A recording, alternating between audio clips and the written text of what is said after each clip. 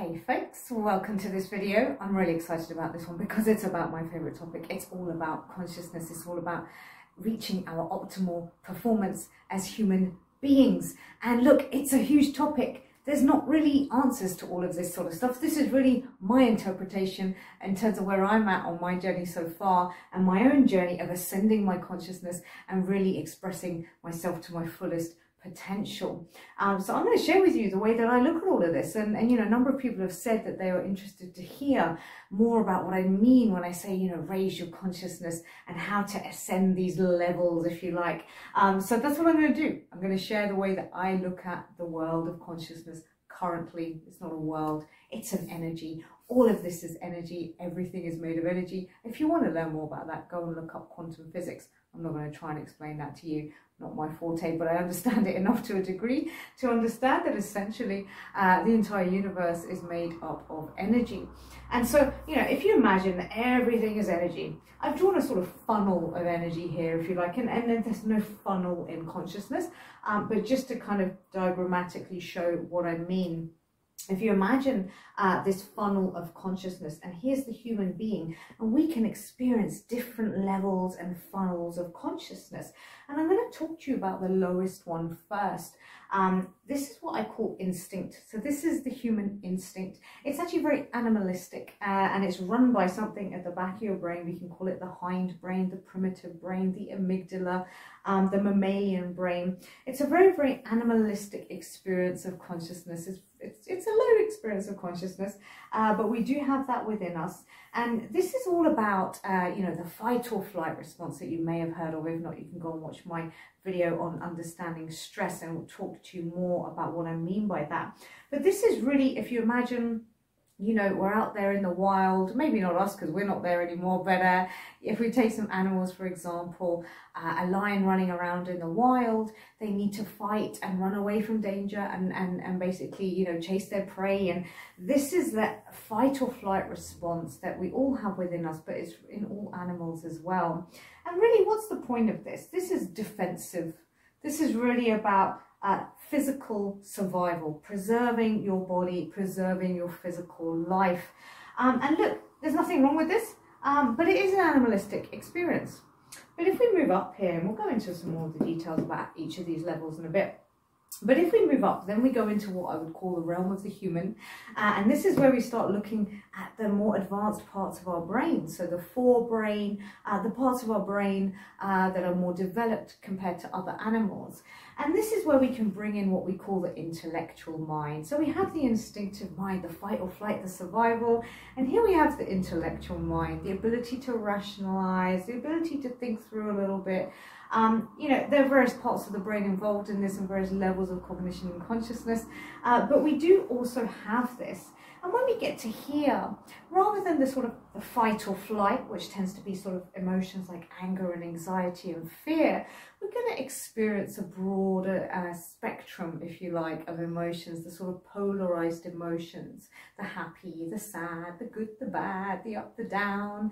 Uh, and we, we get a, a broader spectrum, but we still have a fight for survival going on here.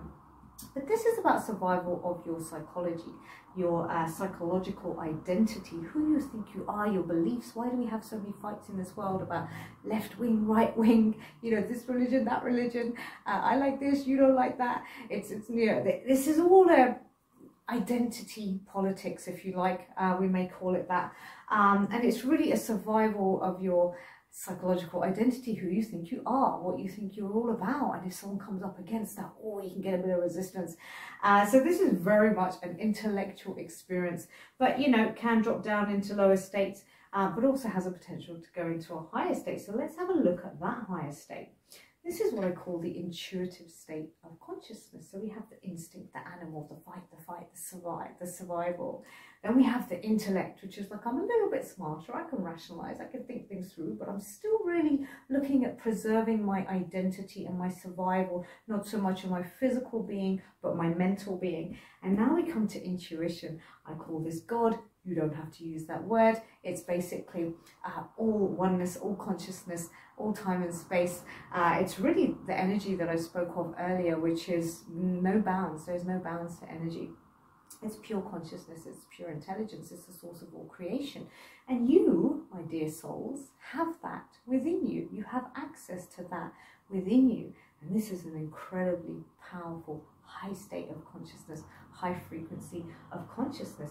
When you're here connected to your higher state, your soul, your spirit, whatever words you want to use, the universe, you are going to experience transcendental emotions.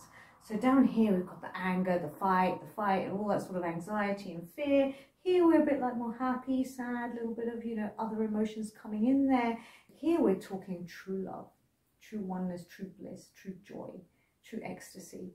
And this is what the people who talk about enlightenment are talking about, how they feel that, you know, I'm not enlightened. I have had experiences of this, uh, but I have not had a prolonged experience. I don't know how to walk my day in this state yet. I'm getting there, hopefully one day.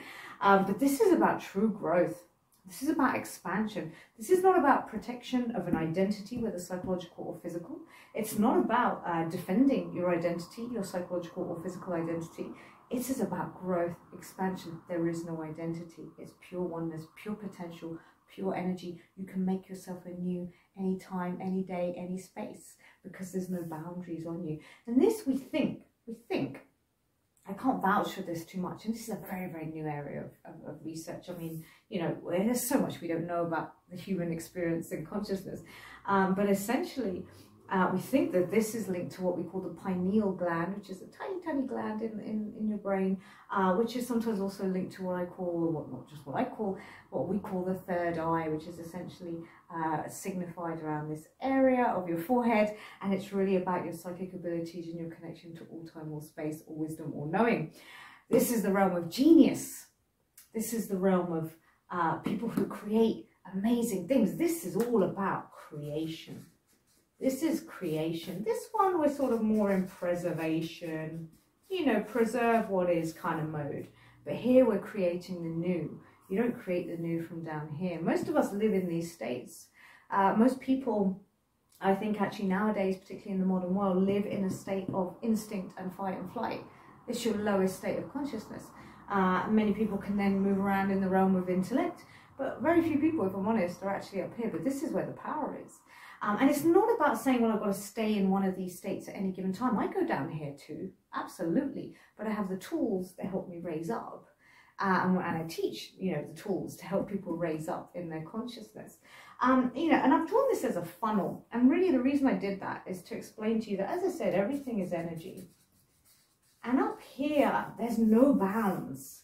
And actually, at the moment, I don't know exactly how they came up with this number, the people who research this, but they essentially estimate that up at this level, uh, in you know in all pure energy, pure consciousness, there are 400 billion bits of information available to us at any one time. Whether that's information that you, with your limited sensory uh, perception, could sort of understand, like different colors, different lights, different sounds, different taste, different touch, different smell, or the non physical uh, field of information that essentially uh, some would say already exists. There's a lot more going on than we can see here.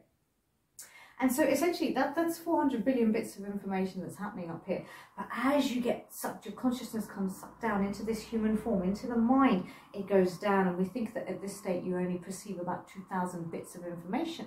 This is done by something called the RAS, the reticular activating system in the stem of your brain. And essentially that's a filter and what it does is says, whoa, there's loads of information going on. I can't possibly take all that in. Don't necessarily need it for my survival. So I'm going to filter it out based on what I believe is important, what I am focusing on, my own beliefs, my own current perception. And so it takes all this information and just gives me a few little bits that it thinks are important for my survival based on what I already believe about myself and the world. So nothing new can happen here. Uh, and then that's all it gives me. So I miss out on all the other potential possibility. And then we get to this level, which I think is even less. Because when you're in a state of stress, which is really what this is, like serious stress, uh, you'll notice that you get what we call tunnel vision. So now you're really in the tunnel. All you can look at is your problem, your problem, your problem. You can't even really see any real viable solutions. Not for the modern day problems. Again, if you want to understand more about what you're doing here, what goes on here, check out my other video on stress. Um, but it's important to understand here This is a survival mode. It's fight, flight, defense. Nothing is going to be created. Nothing new is going to happen. If you want to change and grow in your life, you will not do it from this state. One caveat, yes, not all stress is bad. I'm not saying don't ever be stressed. We need a little bit of attention to help us grow. But for most people, they live in a chronic state of fear and fight or flight. And therefore, they have no possibility of growth unless they have the tools and the ability and put in the work to raise upwards. So these are essentially uh, that, that's what the funnel is about. It's really about understanding that that we come from and we are part of infinite pure potential and consciousness and a field of infinite information. Uh, some may call it the Akashic record, some call it the quantum field. Um, and we, we're very pretty certain that, that that is what the universe is made of as far as we know right now. Uh, it's simply energy.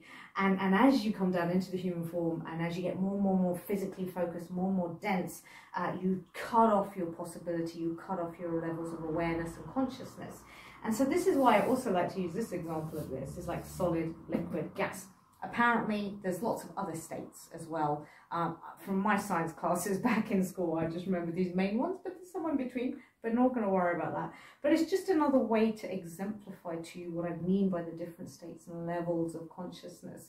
Um, so this one down here is very solid. Imagine a big concrete block, solid, rigid, heavy, dense, more matter, more physical matter, less energy. Really anchored down in the present, like this physical experience. And as you move upwards, now we're moving more liquid. We're a little bit more flexible, we're a little bit more maneuverable, but still influenced by the external world. The liquid will take the shape of whatever it's poured into. So you're still, whilst you're a bit more flexible, a little bit more open, a little bit more adaptable, an ability to grow, you have a little bit more of an ability to grow. Um, still, the point here uh, is that essentially you will take shape of the environment around you. So you're still influenced by it. But here we're gas, gas. Imagine in your mind gas particles. They are all over the place. They're fast, they're volatile, they're moving around. You can't contain them. They don't take shapes in such a state. Um, okay, if you could put it in a bottle if you really wanted to, but really if it gets out, and that's what this energy is all about, the all abundant flow, uh, it's, it's going to go all over the place. Uh, it's very, very powerful, but it's very volatile. And here we have more energy, very high energy state. These transcendental emotions are very high energy states but we have less physical matter. I think that's where we go when we die, um, into the infinite field of consciousness. Uh, so we don't want to be there all the time because we are human, so we will be here as well. Um, but this is beyond time and space because space is the physical world. This is beyond the physical world. Time is of the physical experience, uh, but basically doesn't exist up there. Have you ever had what we call a state of flow in positive psychology where you're doing something that you love so much transcendental emotions, love. Uh, and essentially what happens is that you, you forget what time it is and you forget to eat because you've, you've lost connection and awareness of your physical space, your body, and you've lost track of time because it doesn't exist up here. You've literally gone to another dimension of consciousness. It's a beautiful, powerful experience. So this is available to us all. And this is a really powerful state. It's good for your mind, your body, your soul, your creativity, your ideas, your genius, your flow, your ability to change, to handle challenges, to really expand into who you're meant to be, what you're capable of being here in this world, rather than the dense, uh, rigid preservation, survival based structures down here. We're not meant to survive, we're meant to thrive. And that's something that humans have been given the most amazing tools to be able to do we are, as far as I know, the only species able to consciously choose to develop our own consciousness. I mean, it's insane. Like, I can't even wrap my head around it. But if we take that journey, rather than trying to figure out, you know, what that really means, just take the journey, just play around. When you're in stressed out state, this is what I do in my resilience training, is when you're in stressed out state, how do we raise to this level? And then how do we raise to this level? Some people may, but I not so sure, go from there to there. Um, I'm not sure that's possible because it's a huge jump. That's, to me, that's like a sort of quantum leap. Um, but I'm not going to say it's impossible because I don't want to put that kind of rule on it because I don't know that it's not possible. Um, but I just know that it can be a bit of a challenge. So I know from my experience as well, if I'm really in a straight state of stress, sometimes I just need to work on calming this, transmuting this a little bit, then I might open up to higher brain functions, higher brain functions, uh, a bit more of the problem solving, creativity, a bit more openness, a bit more empathy, but all of that starts to come back as we move up. You don't have that down here. Uh, and then I can go into a state of intuition where I can access so much more wisdom and knowledge and potential and possibility. Um, but you know, again, I don't want to set any rules on that. You may be able to jump, I don't know. Um, so what else is here? Something else to be really uh, aware of is that when you're in an intuitive state and you use that part of your brain and you understand what it means to be connected in that way to all time or space or wisdom or knowledge, you will realize that life happens through you. You're essentially a channel for life, for creation, for expression, for whatever it is that you are here to express. I believe everyone has uh, gifts and talents that are meant to be uh, expressed by them in this world. And so that when you're really here and you get that, you'll really realize that you're a channel for whatever needs to come through in any given moment. You live in a state of flow rather than a, a state of force, which is what we do down here. You live in rhythm with the universe, with nature, with energy, rather than living by rules and rigidity, which is what we do down here. So this is really the place of uh, infinite possibility and growth. And you are internally referenced. What does that mean? I'm guided from within. I know my own wisdom. I know my own truth. I know my own knowing.